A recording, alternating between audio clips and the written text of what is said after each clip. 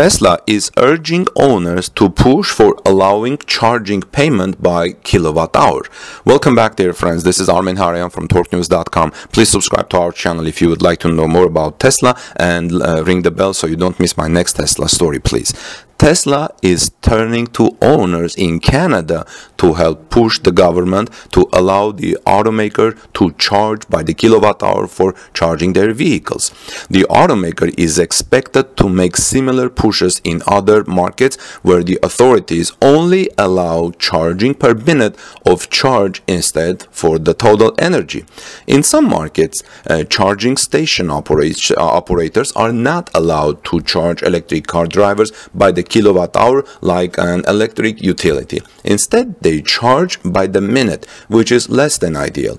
Tesla uses a two-tier system and charges a certain amount per minute when charging under 60 kilowatt hour. That's the tier 1 and over 60 kilowatt hour which is uh, 60 kilowatt that's the tier 2. Tier 1 is half the cost of tier 2 but the price changes based on electricity rates and specific in specific markets. While this system reduces the impact of time-based billing it's still not representative of the actual electricity that the consumer is getting. Tesla explained this in an email to owners saying, quote, with time-based billing, consumers run the risk of paying more to charge their electric vehicle one day compared to the next. Battery state of charge and temperature are just two of the factors that can affect charging speeds and thus cost regardless of the amount of electricity delivered. For example, as an electric vehicle driver, you pay certain amount to charge your vehicle for 30 minutes on a fast level 3 chargers. If the 30 minute charging session is in the winter, you'll be paying the same amount, but you likely get less electricity for your money since cold temperatures affect charging speed. This is just one of the many scenarios in which the dollar per minute billing hurts you as customers. In Canada, they can actually charge by the kilowatt hour, but they have to use expensive utility grade electricity meter, which Tesla claims will result in higher costs. Tesla explained in the same email the following. Here's a quote. Current federal standards established by Measurement Canada require that anyone providing electric vehicle charging services must charge cust uh, customers on a time-only basis. The only other option available is to use a pre-approved and inspected utility-grade electricity meter, but that would increase charging infrastructure costs, reduce charging availability, and increase charging infrastructure costs, um, and, and reduce and increase charging costs for consumers, actually actually.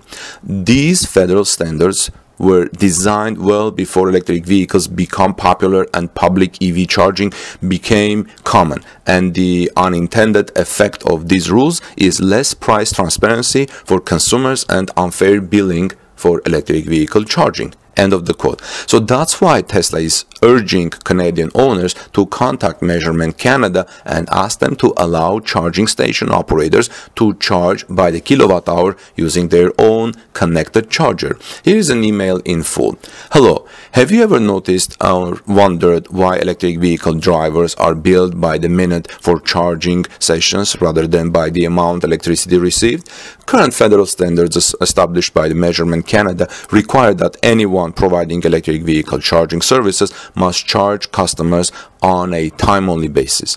The only other option available is to use a pre-approved and inspected utility-grade electricity meter, but that would increase charging infrastructure costs, reduce charging availability, and increase charging infrastructure um, uh, availability and uh, increase charging costs for consumers. These federal standards were designed well before EVs became popular and public EV charging became common, and the unintended effect of these rules is less price transparency for consumers and unfair billing for electricity electric vehicle charging. With time-based billing, cons consumers run the risk of paying more to charge their EV one day compared to the next. Battery state of charge and temperature are just two of the factors that can affect charging speeds and thus cost, regardless of the amount of electricity delivered. For example, as an EV driver, you pay certain amount to charge your vehicle for 30 minutes on a fast level 3 chargers. If that 30 minute charging session is in the winter, you'll be paying the same amount, but you'll likely get less electricity for your money since cold temperatures affect charging speeds. This is just one of the many scenarios in which the dollar per minute billing hurts you as customers, while Tesla's tier billing system takes charging speed into account and diminishes the impact on the consumer, this isn't the case for most public charging networks. To enable more transparent and fair billing for all customers, all consumers, all the time, Measurement Canada should be allow should allow network connected EV charging connectors to count energy use while they establish rules for accuracy.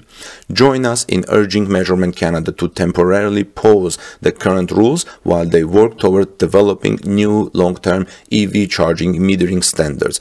Help accelerate Canada's transition to sustainable energy by clicking below to learn more and have your voice heard. We appreciate your support. Best regards, Tesla Policy Team. That was the email sent to Tesla owners. If you are in Canada, you probably received this. Now, it seems like a sensitive request. Connected chargers should be able to accurately calculate and keep track of how much power they deliver. In the same way, the gas stations are accurately cal calculate how much gas they deliver to your car, and you pay only for the gas delivered to your car. With this being an issue in several markets for Tesla, and now that the company's policy team is on it, we expect to see similar efforts popping up in other markets as well. So, what do you think about this development, friends? Let us know in the comment section below, please. Um, what has been your charging experience about a similar issue? In the meantime, this is Armen Hareyan from TorqueNews.com. Please subscribe to our channel, like this video to show your appreciation of all the people who brought this content to you. Um, that helped me to bring this to you. And and uh, I'll see you in our next report. God bless you. Take good care of each other and see you soon.